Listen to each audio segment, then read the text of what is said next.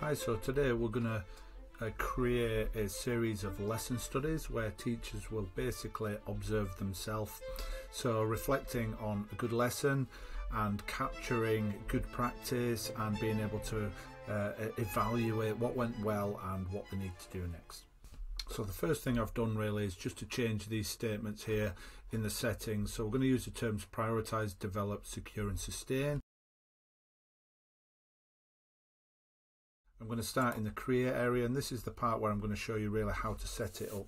So in create, this is going to be a key stage 2 maths uh, self-evaluation and I'm going to put in here spring okay so so we set that up um, and we're going to a label and down here I'm going to use my lesson study. Now, my lesson study is one that I've created, which is kind of, uh, you know, having played around with the lesson snapshot, uh, the learning snapshot. So you can either, uh, I, I, will put this one on Facebook so you can get it from around the moon and download it for free if you want to do, or I will send it out to you, or you can create your own and in here I'm going to make it subject specific so this one's going to be maths which means that we can filter the analysis and get some insights uh, for the subject lead as well from that. Not going to use the judgments the ones that I've created or the Ofsted ones. I'm going to add that one. And here really I need to assign it so each of the teachers is basically going to observe themselves. So it's going to be me observing uh, me. And I'm going to add that one. And then I'm going to uh, add uh, let's go for um, Ned observing himself. And we're going to have uh, Ernest who's going to observe himself as well. And what it's going to do is it's going to send out a notification to each of these staff to say that it's they're ready to do. Let's have Lillian as well observing Lillian uh, there we go. And let's add that. So we've got four teachers, one form entry, key stage two maths.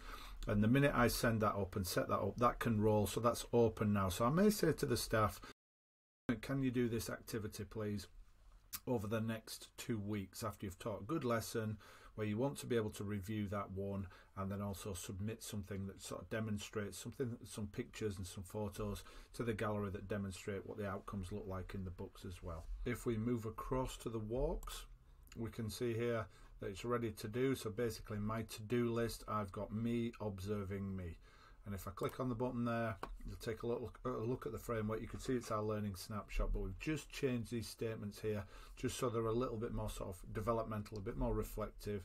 Um, and, and in here I'm going to capture one or two sentences really on my laptop probably to say what's gone well and what I need to do next.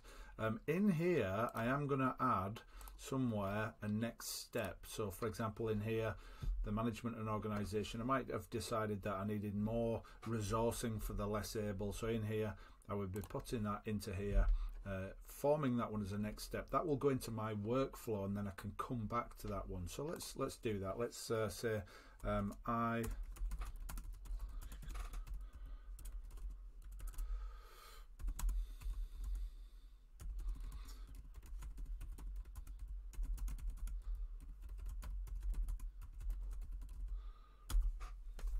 that's a next step and then we'll, we'll complete the entry. Other than that I'm fairly pleased with it. Let's also take a picture. So in here we're going to take a photograph of some some good work. So maths.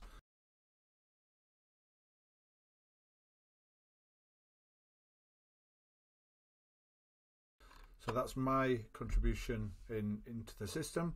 If I now go across to my workflow, um, I will see that here and I go into my next steps.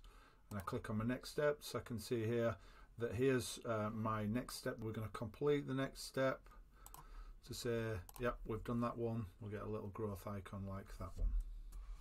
So here we are on Ned's account. So Ned's done the same thing. He's uh, in his walks when he clicks on here we can see that it's lined up and ready in his to-do list. And once again he will do the same thing so and complete his. So where does that all end up? If we head back to the dashboard we can see on here from the the lesson study because it was a different framework that I used here I can see I'm starting to create a database here that's telling me what the outcomes uh, were so I can compare that with the learning snapshots for example. So I can see what the the staff sort of self-evaluations how they compare to the learning walks that we've done and if we come up to here let's just take a little look at the report.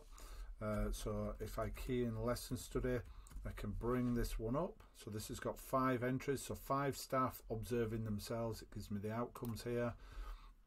Obviously the headlines on the strongest uh, least strongest areas.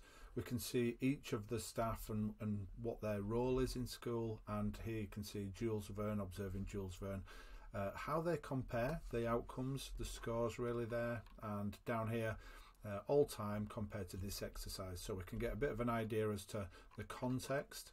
Um, if we want to create a report we can create all the feedback. We can also include images.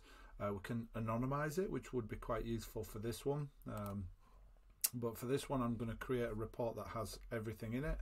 Uh, we'll just open this one up and you'll get a bit of an idea as to, to how useful this could be um, looking at the quality of education. So as we open this report uh, the headlines are at the top again. So we can see again for those five teachers all that those those statistics those that data analysis uh, uh, who's been involved. We can see the strengths areas for improvement.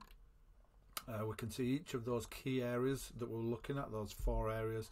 And as we come down here what we can see is each uh, of the teachers the reports for the teachers evaluating their own lessons so here we can see Jules observing Jules and what he thinks is his strengths and areas for improvement from that lesson. So we're getting a nice page for each of those uh, for them to be able to use for their own personal development. And as we head back into the gallery uh, and and start to have a little think about what some of the work looks like that they've been sending in, we can then key this in and start to find the work that they've submitted.